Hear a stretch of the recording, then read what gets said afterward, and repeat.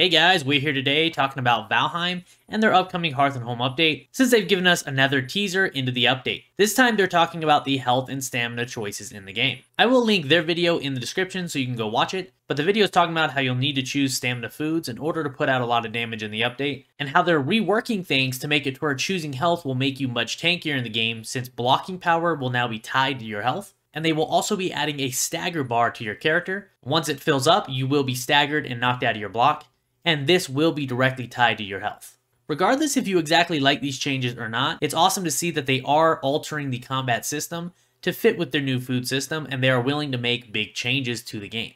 One other small thing I noticed towards the beginning of the video was they had a lot of foods hooked on item stands. Currently, we can put a couple different foods on item stands, but I'm hoping they increase how many this is, and if it's not all the foods, hopefully we at least have a lot more options. These little teasers Iron Gate are doing for Hearth and Home are getting me really excited for the update, and showing that this update will not just simply be new building pieces and just for the building crowd. They're actually making changes to combat and how the health and stamina systems work, along with adding new features like the stagger bar. Can't wait to see what they show us next, and let me know down in the comments what you're looking forward to the most in Hearth and Home. Thanks for watching, I will see you next time.